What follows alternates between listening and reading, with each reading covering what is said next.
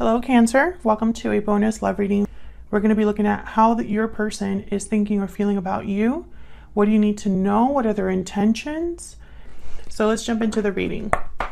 For Cancer Spirit, what do we need to know about the person that Cancer is dealing with? What are they thinking or feeling about Cancer? What are they thinking or feeling about Cancer? What are they thinking or feeling when it comes to Cancer Spirit? Clear, concise messages, please, for Cancer regarding love. What are their what is the person that Cancer is dealing with? What are they thinking or feeling? You are what I've been searching for all along. And bottom of the deck, please don't shut me out. Interesting. Wonder why they would feel that they might be getting shut out here. Something must have happened. What else for Cancer? What do we need to know about what they are thinking or feeling when it comes to Cancer? What do we need to know about what they're thinking or feeling? Spirit, what do we need to know about what they're thinking or feeling when it comes to Cancer? I'm taking a risk. I want this one too. You are my soulmate. Okay, so there's a very strong connection here, or at least they feel that um, you're special in some way. Um, because, sorry, I don't know what's going on with my throat. Because they have been searching for you all along, um, meaning that there's some sort of special thing about you. Maybe you're their soulmate. Maybe they see you see things in a very similar way. Maybe you are their ideal partner. Whatever the case may be, um, I think this person thinks you're like a soulmate. Um, and it's basically something that maybe they haven't experienced with someone else. What else? What else do we need to know about what they're thinking or feeling when it comes to Cancer? What do they need to know? What do we need to know, Spirit, about what they're thinking or feeling about Cancer? Do need to know? I'm so attracted to you. There's definitely like um like a a some, like they're drawn to you here. Sometimes I stay awake thinking about you. I don't know what's going on with my voice, you guys. I was just fine before this. before I started filming. Okay. Can we get some more? Some more energies, please. What is this person thinking or feeling? when it comes to Cancer spirit. In Cancer, of course, this won't resonate with all of you, so just take what resonates for you. Check out the description box. I have every playlist for each sign linked there. Hidden motives and parting ways. Yeah, something happened here where I think there was a separation, a divide between you because this person was asking for you not to shut them out I'm so sorry about the clearing of the throat. sorry. Um, I hope that mic's not picking it up too much. But with hidden motives and parting ways, I'm thinking that this person is still like secretly watching you, observing you, has secrets when it comes to you. We'll see what this is all about and if it comes out again. But I definitely feel like you're not together with this person. I think something must have happened between you and this person. So let's get into the tarot. Spirit, angels, guides. Can we get some insight, please, into this connection and this person that Cancer has been dealing with or is dealing with? What are their energies towards Cancer? What are this person's energies towards Cancer? What do we need to know? What do we need to know about this person's energies towards Cancer? So let's see what we get for you, Cancer. So what they're thinking, feeling about you.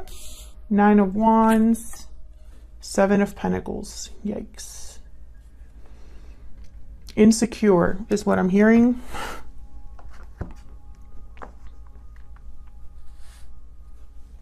What are their thoughts, intentions here? Next actions. King of Swords reverse and the Six of Cups. And what do you need to know? Any hidden factors? The Star, Aquarius energy, and the Queen of Cups. Interesting. I don't think you know that this person feels the way that they do for you. Uh, and I don't see them telling you either. Um, as of right now, anyway. I think that's why we have hidden motives here. And I'm taking a risk. It's because they haven't taken that risk yet. And I think this risk, excuse me, is about speaking or talking about the past. I'm really hoping that this isn't deception. I am going to clarify and see. Bottom of the deck, the Two of Swords. This is the energy that I'm thinking of. Is someone that hasn't made the decision. Um, they haven't taken the risk yet, basically and there's the world right after that. So I think this is the intention, or at least what someone desires a new beginning, right? But that would require a choice to be made here, maybe a risk being taken. Um, so let's see what we get here. Now with the star and the queen of cups, I'm getting that this person's really like hoping, wishing for this because they care about you. I see you as this King of Cups, King of Cups, Queen of Cups here. Okay, but then when I started the reading with the Nine of Wands and the Seven of Pentacles, this is in their current thoughts, energies, feelings, you know. The Nine of Wands and the Seven of Pentacles. This person really has doubts um, about success. Um, I think in when they think of you, they think you don't trust them. And there might be a reason that you don't trust them, you know. I don't think that they're thinking that that's misguided. But I think because you don't trust them, or because you're wary of them, or because of what's happened between you with the Nine of Wands, I think it was very difficult. Maybe it took a long time, maybe it was a long relationship, or it just was a lot to deal with. Um, with the Seven of Pentacles, is almost like, would Cancer ever give me the time of day again? I'm not sure. Let's see, tell me about the Nine of Wands. Why is the Nine of Wands here? Yeah, ten of wands. Exactly. I'm so sorry about that, Cancer. I can't talk. Tell me about the Seven of Pentacles. Why is the Seven of Pentacles here?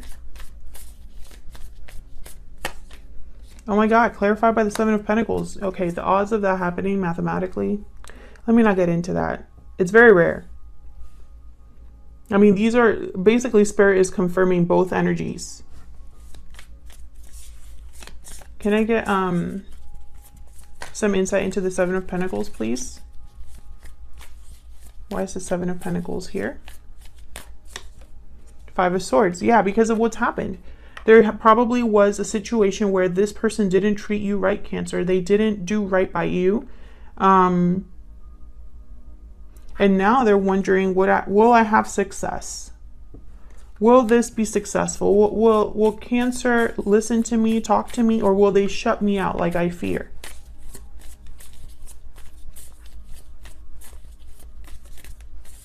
Can I get one more for the Nine of Wands? Nine of Pentacles. Yeah, I feel like um you are free of this in a way. Yeah, there's the Nine of Wands again at the bottom of the deck. And the Tower. Holy crap whatever this was, it was big, Cancer. And I think you're you're doing very well despite all of this. Or this person's very attracted to you, you know? Um, they see you as something like like a prize, something of value. Um, maybe they realized what they had a little too late and they lost it. Um, I think also you're very secure in yourself uh, to it to a point. It's almost like um, and, and this is something that's new for Cancer. Uh, in recent readings, Cancer and Taurus especially have been going through some sort of like change where they they've changed in in the way they approach the relationships in the way they approach the person they're with. And I feel like this is that change. It's like your person can see it and sense it that, you know, you are free of this and you don't want to deal with this again. You don't want to deal with this BS anymore. Um, and maybe this person is now thinking, well, Cancer is not going to come back to this unless maybe I do something about whatever it is that got in the way of your connection. Why is the King of Swords reverse? This isn't their intentions, actions. What? Why is the King of Swords reverse? Two of Cups. Why is the King of Swords reverse? Eight of Swords. Yeah, so basically what I'm getting is there's fear. Fear of talking. They're not talking. This person, they're scared to reach out possibly. There's the chariot and the six of cups. There's Cancer. There you are with the chariot. And the six of cups again. We're getting a lot of like confirmation with this. I mean, they're both the same deck, but I don't usually have this where the same cards come up in both decks like this. This person's scared to come forward. I, I can tell you that right now. Um, and scared of speaking. Um, it's almost like they have a stutter. Maybe that's why I haven't been able to speak this whole reading. um, because it started the minute I started recording and started like starting this this reading. Yeah, this person's thinking about success. They're seeing you. Also, when I have the Six of Wands, I think of someone that is like being observed. Like, you know, think of this as almost like this could be a cover of a news article or like a news front page. You know, you see someone doing very well, succeeding, coming back from something. I feel like this person is looking at your pictures.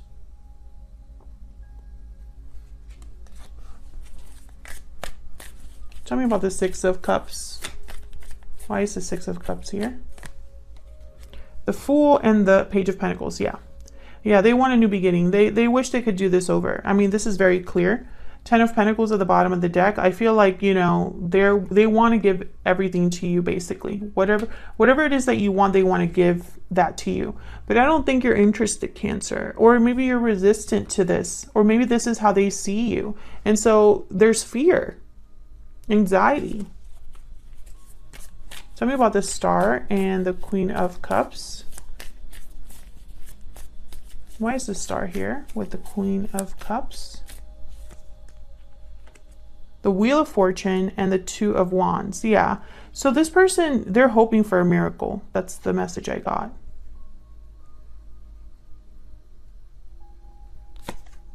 Ace of Swords. Um, they're hoping for an opportunity. And I feel like this choice is all about talking to you. The Two of Wands, Ace of Swords, Two of Swords over here.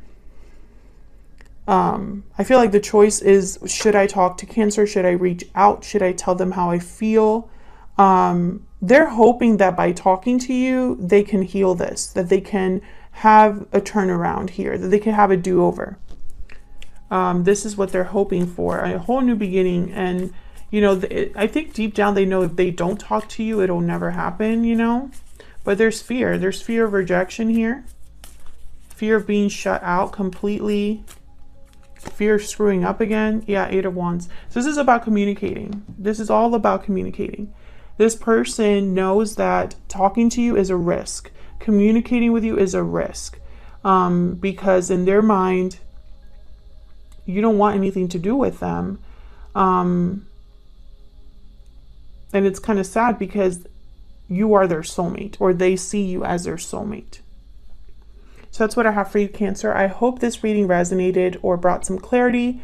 Um, if you enjoyed the reading, please consider hitting the like button, subscribing so you can see more readings from me. Thank you so much for your likes, shares, and subscribes. If it resonated for you and you want to say hi or leave me a comment that it resonated, feel free. Thank you so much for watching and uh, take care.